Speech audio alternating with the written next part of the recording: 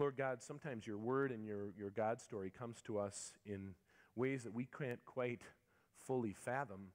And so today, as we stand on the verge of uh, this Advent season, this Christmas season, we wonder why on earth we would be holding up the story of Daniel and the lion's den and all of the, all of the, the details that go with that story. But Lord, keep our hearts and our minds now focused on Christ and his coming, and let us just see if we can find a place in this story that will draw us closer to you and that will open us up to this season of hope and expectation and strengthen us in faith, Lord, as this story has its way with us, with our hearts and with our wills. We pray in Jesus' name.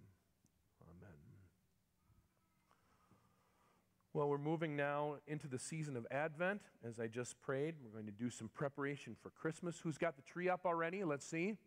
Couple. Okay. All right. We're moving. Right. I uh, talked to a friend of mine the other day. I said, You got the tree up? She said, I can only do one holiday at a time. Okay. So, Thanksgiving weekend, I totally understand. But we come across here at the beginning of Advent one of the most well known Bible stories of all time, right? The story of Daniel and the lion's den. And uh, uh, you know the story well. You probably heard it in Sunday school. It was probably retold to you in your home.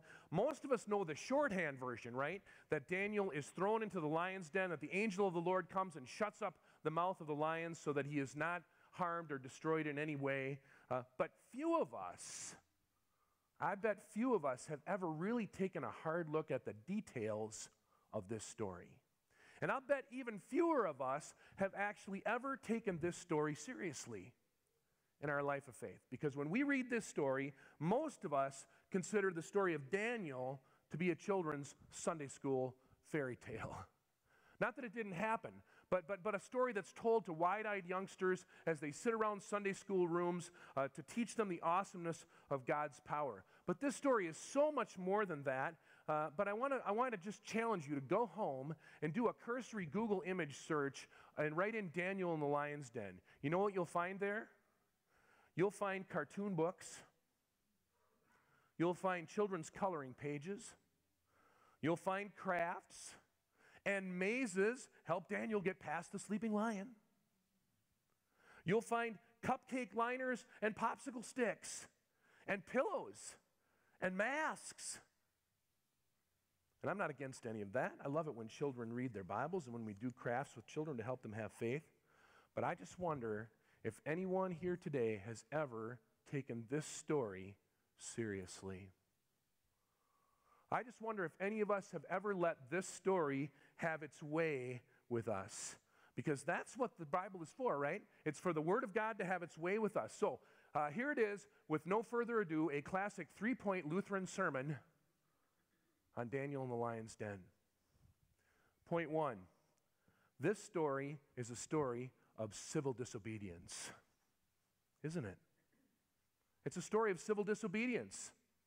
And it's a story of competing powers, not a children's sto- fairy tale, but competing powers. We have God and Daniel, we have King Darius. And if you ever read the book of Daniel, you see that the first six chapters are devoted to this time that's called the Babylonian exile. When, when the people of Israel were defeated and the people were dispersed uh, into, into nations and into Babylon as well. And as the people were scattered into these places, they began to live their faith and ponder deep questions. Like, how can I live my faith when everything that I have has been torn from me? How, how can I live my faith when I live in a culture that's hostile to my faith? Daniel's in a place that is hostile to his belief system. How can I live as a refugee, a refugee and an exile in a strange land? Remember, one of our most famous Psalms in the Bible is based on this experience. You know the Psalm? Psalm 137? By the waters of Babylon, there we sat down and we wept when we remembered Zion, for how could we sing the Lord's song in a strange land? You hear the poignant heart of that psalm comes right from this moment in history. How can we be people of faith in a culture that's hostile to our faith? And the practice of faith became an issue for Daniel, right? King Darius is tricked by his counselors into creating this 30 day a uh, time period where no one will pray to anyone but him. But Daniel continued to pray. Not only continued to pray, but went into his upper room and threw those windows open as if for all to see what he was doing. Daniel is a story of civil disobedience, of pushing back against the powers that be. And I just wonder, excuse me, if Daniel were alive in another time, how he would look and what he would be doing. You know what? I bet you could not take his life and his faith and create a mere coloring book or a children's craft. I wonder if Daniel would have been found at another time with the revolutionaries in our own colonies crying out against taxation without representation, or with George Washington at Valley Forge. Don't ever forget, our nation was created by a series of small civil disobedience, wasn't it? I wonder, I wonder if Daniel would have been found in South Africa fighting against apartheid, or in Selma, Alabama, marching with Dr. King or even today protesting the Dakota pipeline.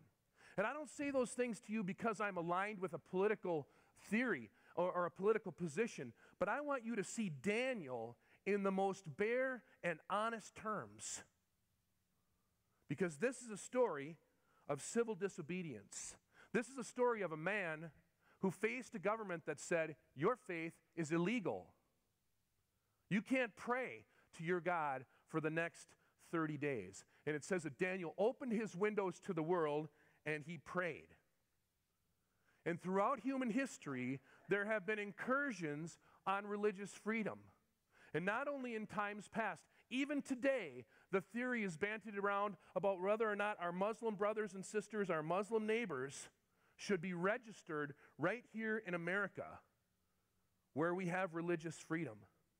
So it would be good for us to think of this story as a story of civil disobedience and of religious freedom. And remember Daniel's courage as he stood up to an all powerful government.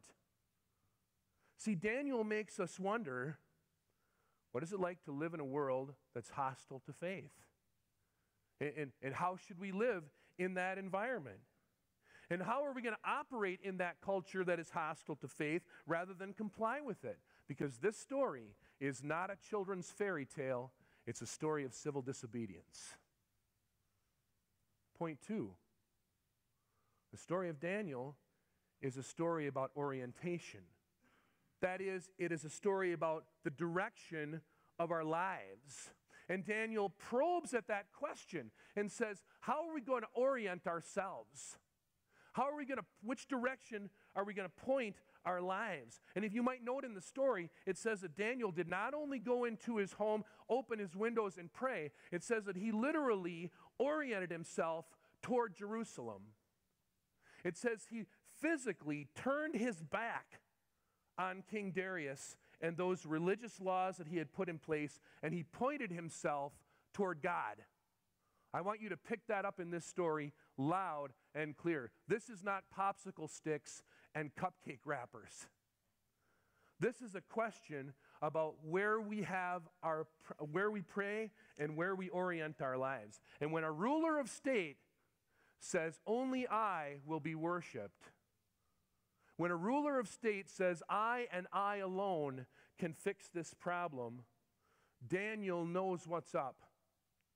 He knows what's going on. And this king, who is supposedly all powerful, who's been unwittingly tricked by his own counselors, Daniel knows there's no ultimate power. No ultimate power. And so he turns his back on Darius.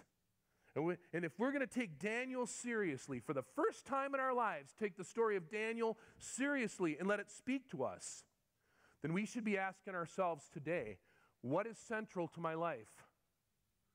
What is most important to me? Where does my allegiance lie? What is worthy of my worship? What is worthy of my loyalty? And when we ask that question and we make that decision about the central things of our lives, then we make our stand as Daniel did. And my friends, that's not arts and crafts. And that's not Sunday, Sunday school simplicity. That's important for us to say. It's important for us to think about. This is a story about the direction of your life in a hostile culture. And number three, Daniel is a story of witness, right? And not only Daniel, as he witnesses in his prayer and in his worship to God, but even King Darius himself becomes a witness, saying to Daniel as he comes to the den of the lions, Oh, Daniel, did the God who you loyally serve keep you safe? And, and, and later, uh, the God of Daniel is the living God enduring forever. But that God sometimes stands in oppositions to kings and governments. That God, whom Daniel worshiped while kneeling and pointing toward Jerusalem, later sent his own son, himself a refugee, not to grasp power, not to grasp control, but to humbly serve and to die and to be raised from the dead. And as we enter the season of Advent and we move toward Christmas, I just wonder doesn't it seem odd that the story we read is the story of Daniel and the lion's den? Well, let me suggest something. Maybe Advent is a season of civil disobedience. Maybe Advent is a season in which we resist every power that attempts to throw us off our game. Maybe this is a season when the culture tells us to buy more and more stuff that we can learn how to give more away. And in a, and in a season when, when the culture tries to tell us to do more for our own needs, we could think even longer and harder than ever about the needs of others. Maybe, like Daniel, we could quietly and joyfully resist King Darius in this culture that is so hostile to faith and instead focus on Jesus who says, I have life for you. I have a life that really is life. Maybe Advent is a good time to cut against the grain of this culture. That's my watch. And maybe Advent is a good time to consider the direction of our lives, our orientation, literally the direction of our life. If Daniel can turn his back on an all powerful ruler of state to face God directly in worship and prayer, then maybe this holiday season could become for you and me a time to refocus, a time to reorient, and a time to redirect. And to literally ask ourselves, and even talk about it today on the way home from church with your children, your spouse, or whoever you came with. What's important to us? What, what are our priorities? What is the direction of our lives? Where do we want to spend our money, our time, our passion, our energy? And if, and if Daniel, if Advent can be that, then I give you Daniel as a great example for this season. And, and, and maybe, maybe ultimate claims will be made, right? And wouldn't it be ironic in a world where great claims are made in the midst of a Christian holiday that we would find it more difficult to pray? Wouldn't it be ironic that in, a Christ, in the midst of a Christian holiday, we would find it more difficult to devote ourselves to prayer? More difficult to, to, to, to devote ourselves to the things of ultimate importance? Because we live in a culture that is hostile to faith. Now, I don't mean you can't say Merry Christmas to people at the store. That's not what I mean. What I mean is that Jesus makes an ultimate claim on our lives, and that ultimate claim goes unnoticed. Even in the season when we celebrate his birth, it goes unnoticed. And maybe, maybe Advent could be about witness as Daniel's story was. A time where ordinary people can live their faith and care for other souls and be generous and loving and not have any power in this world tell them that it's wrong and that they can't do these things. And if that's the case, if Advent could be about witness and the direction of our lives, then I, then I give you Daniel. as a great story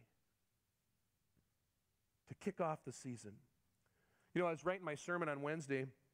I have the greatest, I've said you this before, I have the greatest seat in the house at celebration. Right from my office, I see people come to our church all day long. And on Wednesday, all I saw was cars, Lutheran cars, pulling up in our parking lot. You know what they were doing? They're doing what Lutherans do bringing food, bars, pies, because we were hosting uh, the community Thanksgiving service on Wednesday night. Car after car after car pulled up. And, and then more people pulled up and they left with wreaths because so many people bought wreaths to support our youth on their mission trips this year. I see the wreaths and the swags and everything going out the door. And then I looked again and I saw this giant van being pushed full of food, all of it going to Place of Hope. Did you know that we served two meals at Place of Hope from Celebration last, last week? One is our regular Sunday, and we did again on Thursday. You brought that food and you, you served that meal, but I just wonder if any of those people realized that what they were doing was a tiny act of civil disobedience in a culture that is violent and, uh, and, and stands against faith. I wonder if those people realized that what they were doing was orienting themselves toward God by the service of the poor or living as a witness because that's what they were doing. That's what this season of preparation is about. And it's time for us to notice that. You know, there's an old, there's an old children's song about Daniel. Um, I don't know if you remember singing this in Sunday school, but the words say, Standing by a purpose true, heeding God's command, honor them, the faithful few. All hail to Daniel's band. Dare to be a Daniel, dare to stand alone, dare to have a purpose firm, dare to make it known. So, what do you think? What will your Christmas civil disobedience be? And how are we going to push back against a culture that is hostile to faith? And how will you direct yourself during the month of December? How will you orient your life? And what witness will you give? Because the one who deserves your truest allegiance stood before the power of Pilate's throne and said, My kingdom is not of this world. And then he died, and then he rose from the dead so that he could have the ultimate claim on your life. And you know what? A lot of kingdoms came and left before Jesus arrived, and a lot of them will come and go before he returns. But King Darius himself gave the greatest witness of all as he declared in this story his kingdom, God's kingdom, will never be destroyed. In Jesus' name, amen. Please stand as you are able. We're going to